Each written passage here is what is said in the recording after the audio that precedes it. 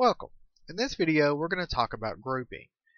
Specifically, grouping as it relates to data, how to use grouping to get a single result, how to use grouping to get multiple results, how to use grouping in combination with other query actions, like the math or string manipulations we've already covered.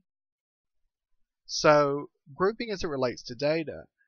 Grouping allows us to consolidate multiple rows of a result based on a common data value. That means if our original query produced five rows, but they're all for the same person, we can consolidate it down to one row. And that allows for the production of a result set that contains only the information that we care about. Well, let's see it in action. We're back in Workbench, and we've already got loaded up a query you've already seen. It's joining the name, product, and purchases tables, and in this case, we're doing it where name ID equals 1. That's the name for James Donovan. So that we can see all of the purchases that he's made. And he's made three.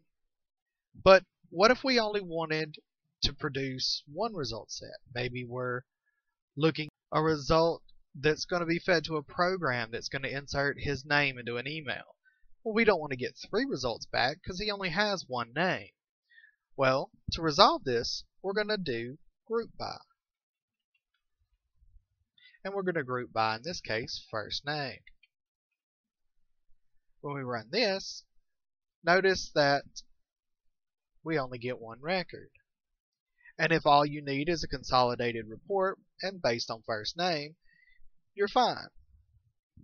But what if we wanted to go a step further? What if we wanted to see what his most recent purchase date was? so that we can include that? Well, normally you do that by ordering. And if you order by DOP, descending, you would think that would give you the most recent date. However, it doesn't.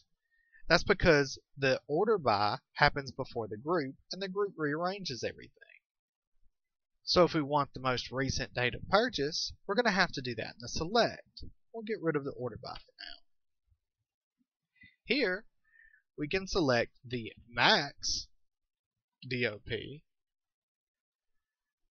and we'll go ahead and name it max DOP.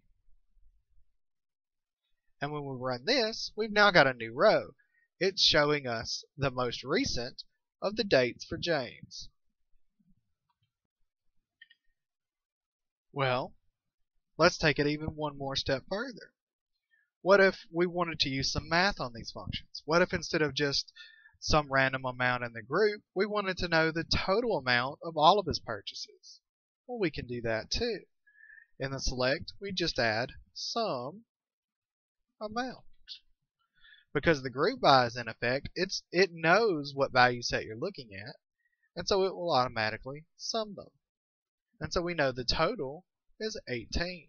He's bought 18 products, and his most recent purchase is on this date. You can see how this kind of stuff becomes more and more useful the more you add. We'll stop there for now and continue on with the rest in the next video.